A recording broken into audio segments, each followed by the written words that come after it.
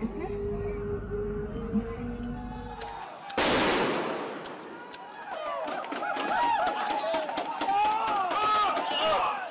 di sepanjang jalan KS Tubun ini untuk mengantisipasi adanya eh, aksi massa susulan yang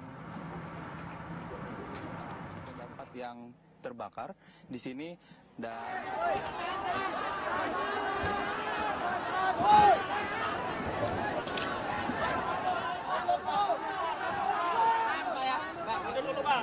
Pak.